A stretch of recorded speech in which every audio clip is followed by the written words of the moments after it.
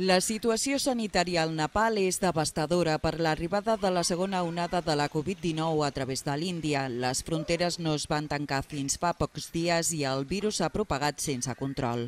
Es calcula que milers de persones, entre 30.000 i 50.000, les travessaven diàriament.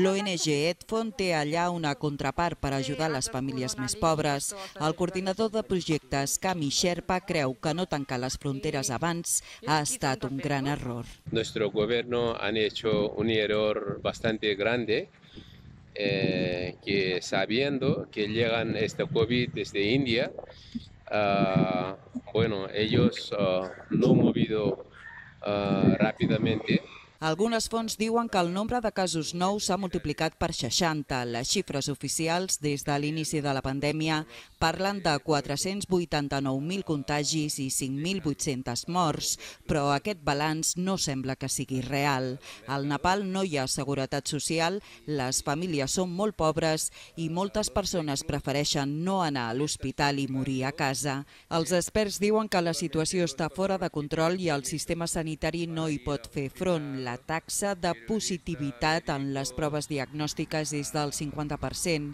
el doble del màxim registrat a l'Índia, i pronostiquen que a finals de juny es podria arribar als 11.000 casos diaris. La població està estrictament confinada des del passat 29 d'abril. Només es pot sortir de 6 a 9 del matí per comprar aliments o medicaments.